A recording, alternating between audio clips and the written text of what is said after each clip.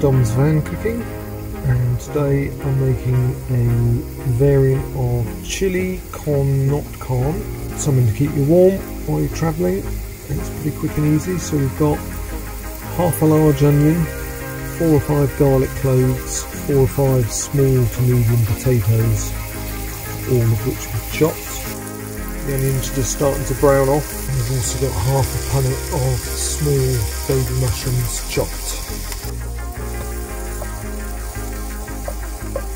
We add some of Missy's wine, don't tell her. So letting it simmer in the wine now, as you can see it's still quite moist. Are you hungry Rose? Uh, kinda. I'm hungry. We've added the beans and the chopped tomatoes and then we've added half of the chopped tomato empty tin with water. Poured that all in and we're going to bring that to the boil. Still got our olives to go and we're just about to put the spices and stock cube in. So I've added the stock cube, one to two teaspoons of mixed Kylie spice, one to two teaspoons of smoked paprika. Smoked paprika. smoked paprika.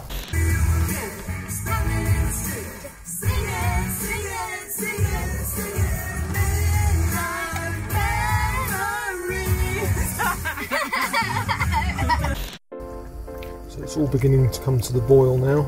Yeah. Going to leave it boiling for about five to ten minutes just to try and get the potatoes cooked.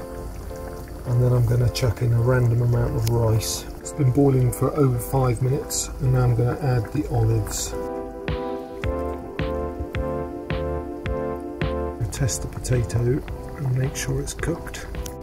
So with the potato nearly ready, and that's still a little bit firm, I'm going to add a load of rice and then uh, simmer it for 10 to 15 minutes until the rice is done. Highly rice, which is what we're going to use, but use any kind of rice or risotto rice. I've added about a fistful of rice and I've got it on a low simmer and I'll stir it every couple of minutes and uh, it should be ready in 10 to 15 minutes. So the rice had soaked up most of the water so we've added about another inch of water from the tomato tin and we've stirred that in waiting for that to come back to the boil. We're going to add in sweet corn.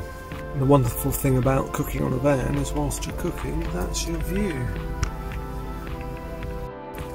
I've also added a little squirt of tomato puree it's all mixed in. It's worth noting that you don't have to add black beans, you can use any beans. Kidney beans are nice, white beans, um, and again with the sweet corn, um, you don't have to add that. We could add the peas or both. Now we're going to leave it simmering until the rice is done. Just a couple more minutes, I think. So all in all, it's probably taken about half an hour, and most of the ingredients are optional. So it's really just like a random hot pot of what you have available uh, and over the course of other videos I'll do other random hot pots and you can kind of get an idea of how you can mix and match. So how do you feel dinner was Rose? I think it was lovely. I like the potatoes. So it was alright then. It was really nice. How was dinner? It was delicious. The olives really make it, and the sweet corn as well. It was all good. Um,